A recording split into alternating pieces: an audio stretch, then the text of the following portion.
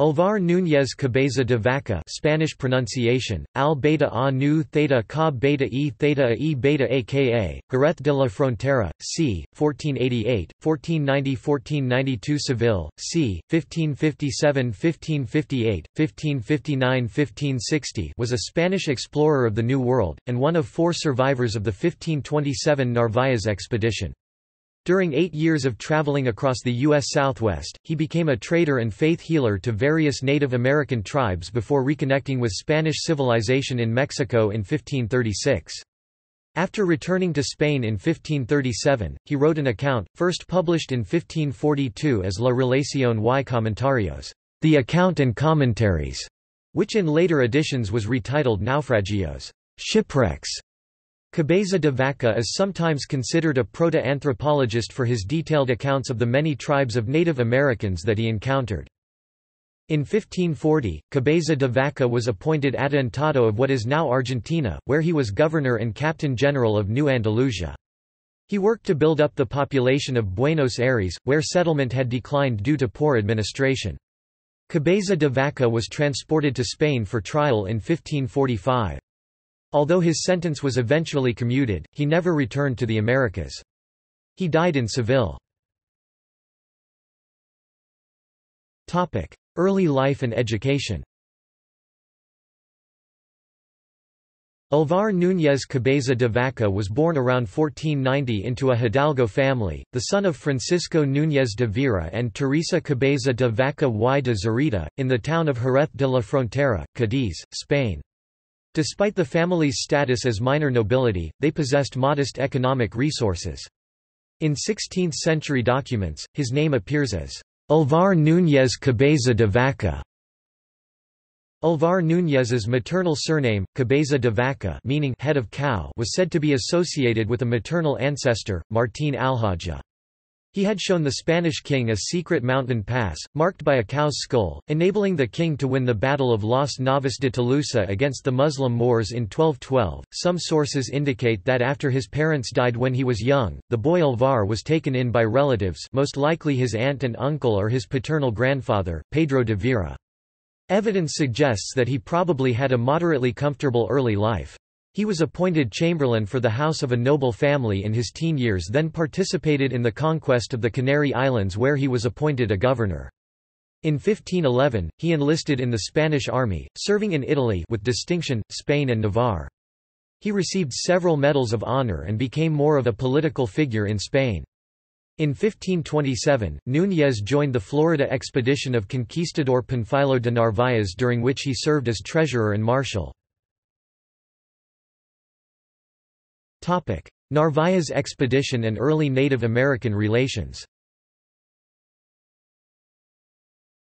In 1527, Panfilo de Narváez was sent by Spain's King Charles V to explore the unknown territory which the Spanish called La Florida, including not only present-day Florida but a large, poorly defined section of what today is the southeastern United States. Cabeza de Vaca was attached to this expedition as the expedition's treasurer. Records indicate that he also had a military role as one of the chief officers on the Narváez expedition, noted as sheriff or marshal. On June 17, 1527, the fleet of five ships set sail towards the province of Panuco which was on the western border of Florida. When they stopped in Hispaniola for supplies, Narváez lost approximately 150 of his men, who chose to stay on the island rather than continue with the expedition. The expedition continued to Cuba, where Cabeza de Vaca took two ships to recruit more men and buy supplies. Their fleet was battered by a hurricane, resulting in the destruction of both ships and loss of most of Cabeza de Vaca's men. Narváez arrived days later to pick up the survivors. By February 1528, the remaining ships and men resumed their expedition, reaching Florida in April. They anchored near what is now known as the Jungle Prada site in St. Petersburg, claiming this land as a possession of the Spanish crown. After communicating with the Native Americans, the Spanish heard rumors that a city named Apalachen was full of food and gold. Against the advice of Cabeza de Vaca, Narváez decided to split up his men. Some 300 were to go on foot to Apalachen and the other would sail to Panuco. Apalachen had no gold but had only corn, but the explorers were told a village known as Aute, about five or nine days away, was rich. They pushed on through the swamps, harassed by the Native Americans. A few Spanish men were killed and more wounded. When they arrived in Aute, they found that the inhabitants had burned down the village and left.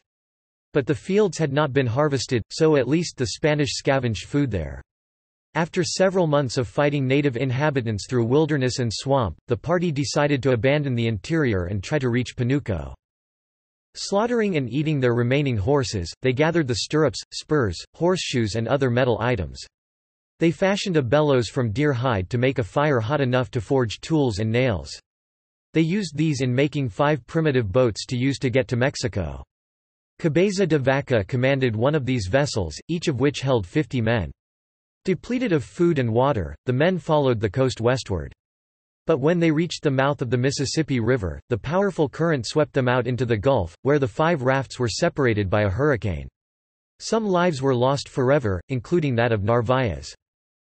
Two crafts with about 40 survivors each, including Cabeza de Vaca, wrecked on or near Galveston Island now part of Texas. Out of the 80 or so survivors, only 15 lived past that winter. The explorers called the island Malhado ill fate in Spanish, or the Island of Doom. They tried to repair the rafts, using what remained of their own clothes as oakum to plug holes, but they lost the rafts to a large wave. As the number of survivors dwindled rapidly, they were enslaved for a few years by various American Indian tribes of the upper Gulf Coast. Because Cabeza de Vaca survived and prospered from time to time, some scholars argue that he was not enslaved but using a figure of speech. He and other noblemen were accustomed to better living.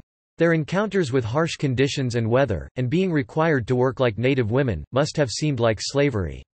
The tribes to which Cabeza de Vaca was enslaved included the Hans and the Capics, and tribes later called the Karankawa and Coahuiltecan. After escaping, only four men, Cabeza de Vaca, Andrés Dorantes de Carranza, Alonso del Castillo Maldonado, and an enslaved Moroccan Berber named Esteban later called Estevanico, survived to reach Mexico City. Traveling mostly with this small group, Cabeza de Vaca explored what is now the U.S. state of Texas, as well as the northeastern Mexican states of Tamaulipas, Nuevo Leon and Coahuila, and possibly smaller portions of New Mexico and Arizona. He traveled on foot through the then colonized territories of Texas and the coast. He continued through Coahuila and Nueva Vizcaya, then down the Gulf of California coast to what is now Sinaloa, Mexico, over a period of roughly eight years. Throughout those years, Cabeza de Vaca and the other men adapted to the lives of the indigenous people they stayed with, whom he later described as roots people, the fish and blackberry people, or the fig people, depending on their principal foods. During his wanderings, passing from tribe to tribe, Cabeza de Vaca later reported that he developed sympathies for the indigenous peoples. He became a trader and a healer, which gave him some freedom to travel among the tribes. As a healer, Cabeza de Vaca used blowing like the Native Americans to heal, but claimed that God and the Christian cross led to his success. His healing of the sick gained him a reputation as a faith healer. His group attracted numerous native followers, who regarded them as children of the sun, endowed with the power to heal and destroy. As Cabeza de Vaca grew healthier, he decided that he would make his way to Panuco, supporting himself through trading. He finally decided to try to reach the Spanish colony in Mexico. Many natives were said to accompany the explorers on their journey across what is now known as the American Southwest and northern Mexico. After finally reaching the colonized lands of New Spain, where he first encountered fellow Spaniards near modern-day Culiacan, Cabeza de Vaca and the three other men reached Mexico City. From there he sailed back to Europe in 1537. Numerous researchers have tried to trace his route across the southwest. As he did not begin writing his chronicle until back in Spain, he had to rely on memory. He did not have the instruments clock and astrolabe to determine his location, he had to rely on dead reckoning, and was uncertain of his route. Aware that his recollection has numerous errors in chronology and geography, historians have worked to put together pieces of the puzzle to discern his paths. Return to America In 1540, Cabeza de Vaca was appointed adelantado of the Rio de la Plata in South America. The colony comprised parts of what is now Argentina, Paraguay, and Uruguay. Cabeza de Vaca was assigned to find a usable route from this colony to the colony in Peru, on the other side of the Andes Mountains on the Pacific coast. En route, he disembarked from his fleet at Santa Catarina Island in modern Brazil. With an indigenous force, plus 250 musketeers and 26 horses, he followed native trails discovered by Aleixo Garcia overland to the district's Spanish capital, Asunción, far inland on the Great Paraguay River. Cabeza de Vaca is thought to have been the first European to see the Iguacu Falls. In March 1542 Cabeza de Vaca met with Domingo Martínez de Irala and relieved him of his position as governor. The government of Asunción pledged loyalty to Cabeza de Vaca, and Irala was assigned to explore a possible route to Peru. Once Irala returned and reported, Cabeza de Vaca planned his own expedition. He hoped to reach Los Reyes a base that Irala set up and push forward into the jungle in search of a route to the gold and silver mines of Peru. The expedition did not go well, and Cabeza de Vaca returned to Asunción. During his absence, Irala had stirred up resistance to Cabeza de Vaca's rule and capitalized on political rivalries. Scholars widely agree that Cabeza de Vaca had an unusually sympathetic attitude towards the Native Americans for his time. The elite settlers in modern Argentina, known as encomenderos, generally did not agree with his enlightened conduct toward the natives, they wanted to use them for labor. Because he lost elite support, and Buenos Aires was failing as a settlement, not attracting enough residents, Martínez de Irala arrested Cabeza de Vaca in 1544 for poor administration. The former explorer was returned to Spain in 1545 for trial. Although eventually exonerated, Cabeza de Vaca never returned to South America. He wrote an extensive report on the Rio de la Plata colony in South America, strongly criticizing the conduct of Martínez de Irala. The report was bound with his earlier La Relación and published under the title Comentarios commentary. He died poor in Seville around the year 1560. La Relación of Alvar Núñez Cabeza de Vaca La Relación of Alvar Núñez Cabeza de Vaca is the account of his experiences with the Narváez expedition and after being wrecked on Galveston Island in November 1528. Cabeza de Vaca and his last three men struggled to survive. They wandered along the Texas coast as prisoners of the Han and Kapoke American Indians for two years, while Cabeza de Vaca observed the people, picking up their ways of life and customs. They traveled through the American Southwest and ultimately reached Mexico City, nearly eight years after being wrecked on the island. In 1537, Cabeza de Vaca returned to Spain, where he wrote his narratives of the Narváez expedition. These narratives were collected and published in 1542 in Spain. They are now known as the relation of Alvar Núñez Cabeza de Vaca. The narrative of Cabeza de Vaca is the first European book devoted completely to North America. His detailed account describes the lives of numerous tribes of American Indians of the time.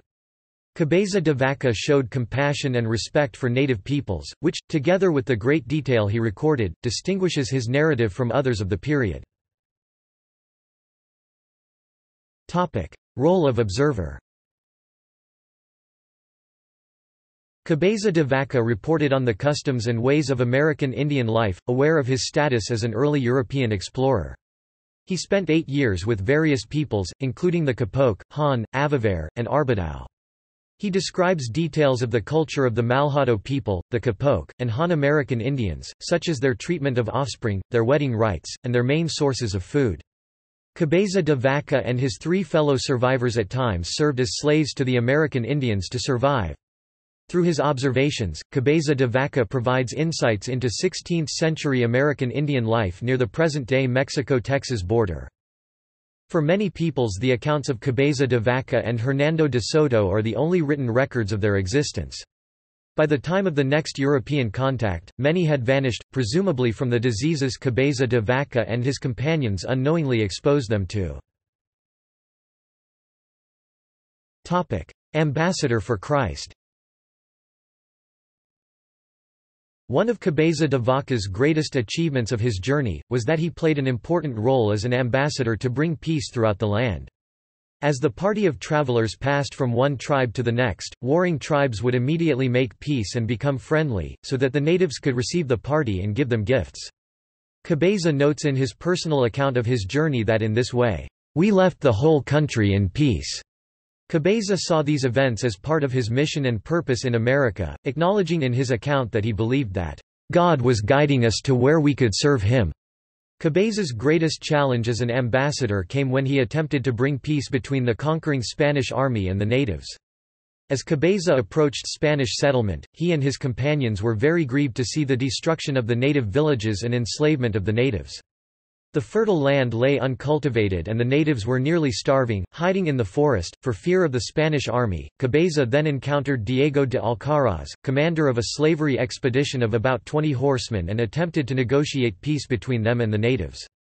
However, as soon as they departed, Diego went back on his word and plundered Cabeza's entourage of natives that he had sent back home. Not long after this, Cabeza encountered the chief alcalde Spanish captain of the province named Melchor Diaz. Melchor Diaz ordered Cabeza to bring the natives back from the forests so that they would recultivate the land. Cabeza and Melchor invited the natives to convert to Christianity and the natives did so willingly.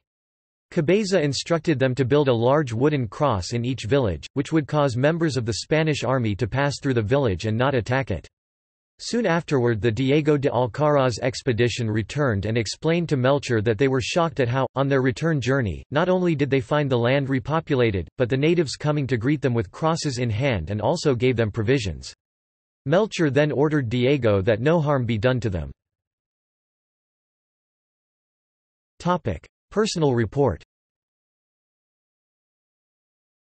Cabeza de Vaca wrote this narrative to Charles V to transmit what I saw and heard in the nine years I wandered lost and miserable over many remote lands. He wanted to convey not merely a report of positions and distances, flora and fauna, but of the customs of the numerous indigenous people I talked with and dwelt among, as well as any other matters I could hear of or observe. He took care to present facts, as a full account of what he observed. The relation is the only account of many details concerning the indigenous people whom he encountered.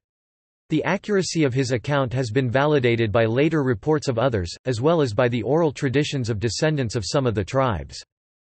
Cabeza's account also served as a petition to the King of Spain to both establish a permanent Christian mission and eventually establish the native tribes as a nation under the governance of Spain. In his reflection Cabeza writes to the King of Spain, May God in his infinite mercy grant that in the days of your majesty and under your power and sway, these people become willingly and sincerely subjects of the true Lord who created and redeemed them. We believe they will be, and that your majesty is destined to bring it about, as it will not be at all difficult. Cabeza continued to be a strong advocate for the rights of Native American Indians throughout his lifetime. American Indian nations noted by name Cabeza de Vaca identified the following peoples by name in his La Relación 1542. The following list shows his names, together with what scholars suggested in 1919 were the likely tribes identified by names used in the 20th century. By that time, tribal identification was also related to more linguistic data, possible Karankawan groups. Capiks, Kokas Diaguanes, Kujanes Quivines, Copanes. Guaycones, Guapites Kamwans, Karankaguasas, related to Karankawa. Charuco, Paday Orcaquiza Han, Paday Orcaquiza Possible Tonkawan groups. Mendika, Tamiks Mariames, Jerinames Iguaces, Possible Coahuiltecan or desert groups. Quidols The Fig people. Acubadaos Avivares Anagados Cuddlechuches Malyacones Susolas Comos, Comicrudo. Quayos Arbadaos. Ateos. Cuchendados. Topic. Comentarios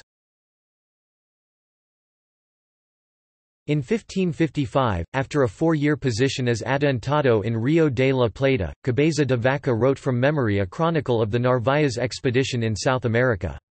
It is believed that his secretary at the time, Pero Hernández, transcribed Cabeza de Vaca's account in what is known as Comentarios.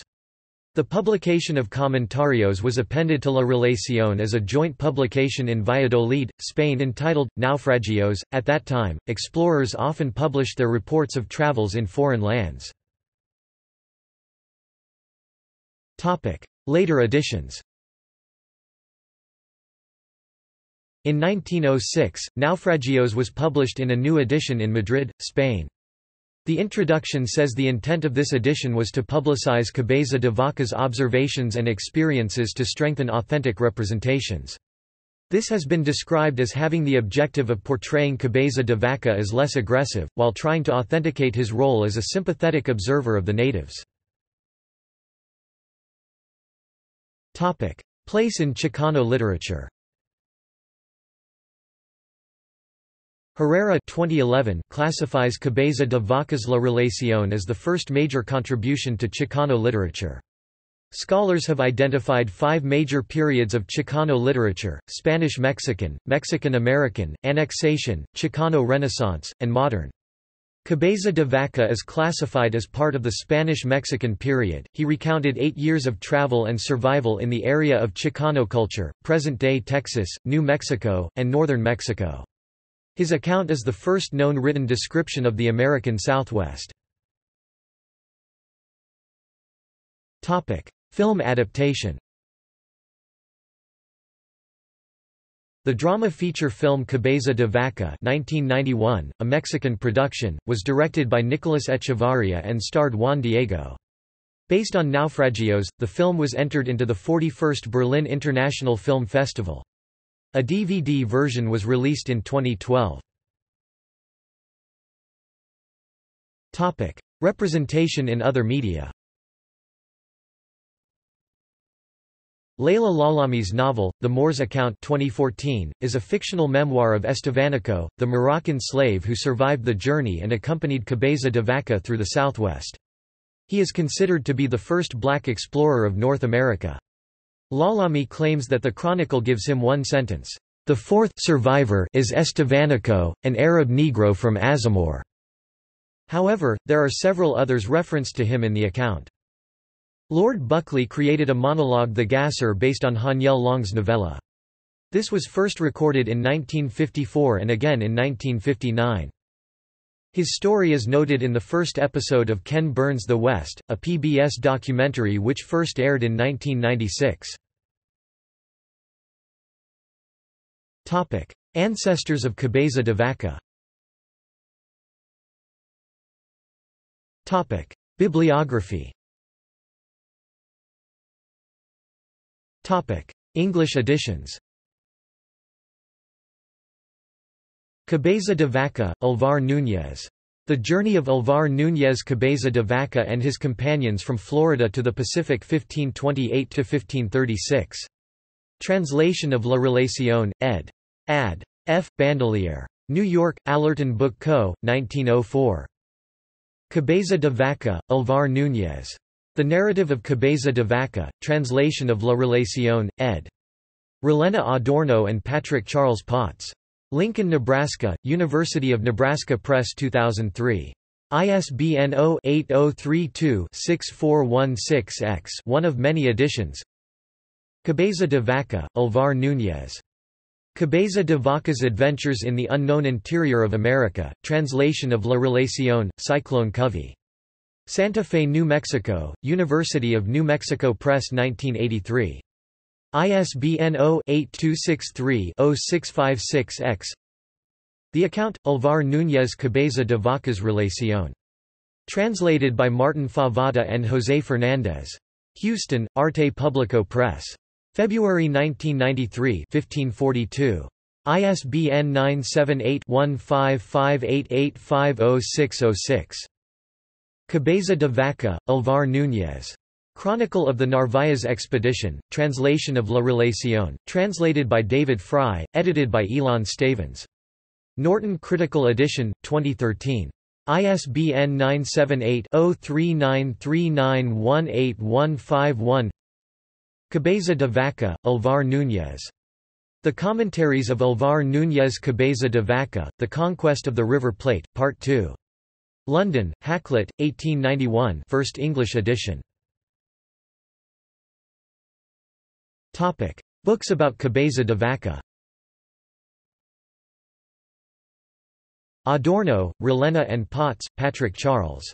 Alvar Núñez Cabeza de Vaca, His Account, His Life and the Expedition of Panfilo de Narváez, 3 volumes, in English, University of Nebraska Press, Lincoln, London 1999, hardcover, ISBN 978-0803214637 Howard, David A. 1996. Conquistador in Chains, Cabeza de Vaca and the Indians of the Americas. Tuscaloosa, University of Alabama Press. ISBN 978-0817308285. Krieger, Alex D. We Came Naked and Barefoot, The Journey of Cabeza de Vaca Across North America. Austin, University of Texas Press, 2002. ISBN 978-0-292-74235-2. Long, Haniel. Interlinear to Cabeza de Vaca 1936, a fictionalized account of Cabeza de Vaca's journey Resendez, Andrés. A Land So Strange, The Epic Journey of Cabeza de Vaca, Basic Books, Perseus, 2007. ISBN 0-465-06840-5 Schneider, Paul. Brutal Journey, Cabeza de Vaca and the Epic First Crossing of North America, New York, Henry Holt, 2007. ISBN 0-8050-8320-0 Udall, Stuart L. Majestic Journey, Coronado's Inland Empire, Museum of New Mexico Press, 1995. ISBN 0-89013-285-2 Varnum, Robin. Alvar Núñez Cabeza de Vaca, American Trailblazer. Norman, Oklahoma, University of Oklahoma Press, 2014. Wild, Peter 1991, Alvar Núñez Cabeza de Vaca. Boise, Idaho, Boise State University, 1991. ISBN 978-0884301004 OCLC 245159551, 656314379 print and online Spanish Adorno, Rolena and Potts, Patrick Charles, Alvaro Núñez Cabeza de Vaca, Sus Lagros, Su vida y la expedición de Panfilo de Narváez, 3 volumes, in Spanish, University of Nebraska Press, Lincoln, London September 15, 1999, hardcover, 1317 pages, ISBN 978-0803214545 Caba, Ruben, Gómez Lucina, Eloisa 2008. La Odisea de Cabeza de Vaca, Tras los Pasos de Alvar Núñez por Tierras Americanas The Odyssey of Cabeza de Vaca, On the Footsteps of Alvar Núñez on American Lands historical essay. Terra Incognita in Spanish. Barcelona, Edhasa. ISBN 9788435039864. Caba, Ruben, Gómez Lucina, Eloisa October 2008. Cabeza de Vaca, El Ulises del Nuevo Mundo. Cabeza de Vaca, The Ulysses of the New World. Clio Historia in Spanish 84, 72-79. ISSN 1579-3532. Jauregui, Carlos. Cabeza de Vaca, Mala cosa y las vicisitudes de la extrañeza.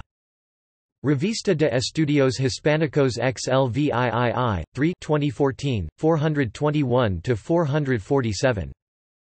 Mora, Juan Francisco, ed., July 2007. Carta de Luis Ramírez a su padre desde el Brasil 1528. PDF. Lemire, Parnaseo in Spanish. University of Valencia, AJKDAS, LKJFL, KFHODHSUHYJ. ISSN 1579-735-X. Retrieved 14 April 2010. Mora, Juan Francisco July 2011. Alvar Núñez Cabeza de Vaca, El Gran Burlador de América, second edition corrected and augmented. PDF. Lemire, Parnaseo in Spanish. University of Valencia. ISSN 1579-735-X. Retrieved 7 July 2011.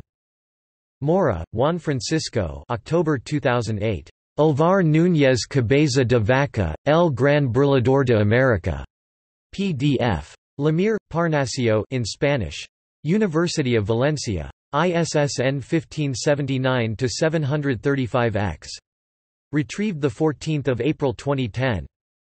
Mora, Juan Francisco, October 2013, El Libro 50 de la Historia General y Natural de las Indias Infortunios y Naufragios de Gonzalo Fernández de Oviedo 1535, Genesis e Inspiración de algunos episodios de naufragios de Alvar Núñez Cabeza de Vaca 1542, Lemire 17, 87–100. University of Valencia http parnaseo.uv.es slash lemire slash revista slash revista 17 slash 06 underscore mora underscore one dot pdf Topic Italian Giovan Battista Ramusio, Della Navigazione et Viaggi Terzo Volume, pp. 310–330. Relación che fis Alvaro Núñez detto capo di vaca. Venetia, 1565-1606 edition. Topic. See also. Choctaw Campero Criollo Mississippian culture Pinus remota Quivira and Cibola Francisco Vázquez de Coronado, another Spanish explorer in North America. Alvar Núñez Cabeza de Vaca sculpture, Houston, Texas. Topic. References. Topic. External links. La Relación Online Works by Alvar Núñez Cabeza de Vaca at Project Gutenberg. Works by or about Alvar Núñez Cabeza de Vaca at Internet Archive. Works by Alvar Núñez Cabeza de Vaca at LibriVox public domain audiobooks. The Journey of Alvar Núñez Cabeza de Vaca 1542, translated by Fanny Bandelier 1905, HTML version the Journey of Alvar Núñez Cabeza de Vaca 1542, translated by Fanny Bandelier 1905, PDF version. Cabeza de Vaca's Adventures in the Unknown Interior of America English translation from 1961. The Journey of Alvar Núñez Cabeza de Vaca and His Companions from Florida to the Pacific, 1528–1536, hosted by the Portal to Texas History Naufragios de Alvar Núñez Cabeza de Vaca at Project Gutenberg in Spanish resources Alvar Núñez Cabeza de Vaca at American Journeys Cabeza de Vaca's Florida History. The Journey of Alvar Núñez Cabeza de Vaca. American Journeys, Wisconsin History. Cabeza de Vaca Primary Source Adventure, Lesson Plan hosted by the Portal to Texas History Cabeza de Vaca, La Salle, published in 1901, Portal to Texas History. Learning from Cabeza de Vaca. Texas Beyond History. University of Texas at Austin. Chipman, Donald E. Cabeza de Vaca, Alvar Núñez. TSHA Handbook of Texas Online. Texas State Historical Association. New Perspective on the West Alvar Núñez Cabeza de Vaca articles Las Midas Culturales de la Otredad. Revisiones contemporáneas de naufragios, de cabeza de vaca Artículo de Santiago Juan Navarro publicado en Letras 18-19 1999, 201-224, in Spanish audiovisual PBS documentary The Conquistadors PBS, website includes a map of the proposed southern route through Texas and northern Mexico. Alvar Núñez Cabeza de Vaca the West, a documentary by Ken Burns for PBS Episode 1 Alvar Núñez Cabeza de Vaca on IMDb